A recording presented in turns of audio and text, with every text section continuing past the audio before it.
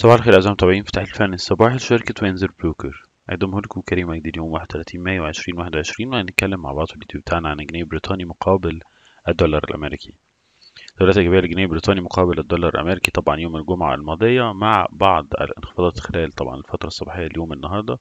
ولكن انخفاض الأسبوع الماضي أو ارتفاع عفوا الأسبوع الماضي بالنسبة للجنيه البريطاني وانخفاض بالنسبة للدولار ده راجع في ظل طبعا غيابات البيانات الهامة بشكل كامل بالإضافة لجني الأرباح وإغلاق الصفقات قبل نهاية الأسبوع وعطلة نهاية الأسبوع.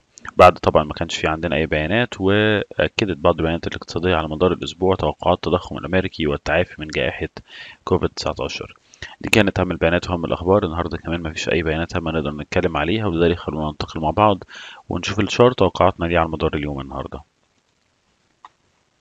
زي ما حضراتكم شايفين طبعا الأداء والمحاولات الإيجابية للجنيه البريطاني يوم الجمعة الماضية ومحاولات للارتفاع أعلى ال 41 75 ولكن طبعا تداولات عرضية وتداولات متذبذبة.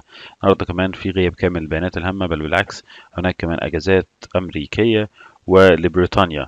سواء عطلة البنوك في بريطانيا أو يوم ذكرى الشهداء في الولايات المتحدة الأمريكية. ولذلك ده هيأثر طبعا على الأسواق بشكل كبير. ولكن الأداء الإيجابي هو الأكثر توقعا مع وجود إيجابية على ال EMA على السعر على ال flat trend وجوده أعلى متوسطات سعرية وثباته أعلى ال 41 75 لذلك نتوقع مزيد من الارتفاعات بشرط كسر ال 42 35 علشان يروح لل 43 10 وراها 43 70 مرة تانية كسر ال 42 35 وراها 43 10 وراها 43 70 السيناريو الآخر المعاكس هتحقق بكسر الواحد وأربعين عشرة عشان يروح للأربعين أربعين وآخر نقطة عند تسعة وتلاتين تسعين.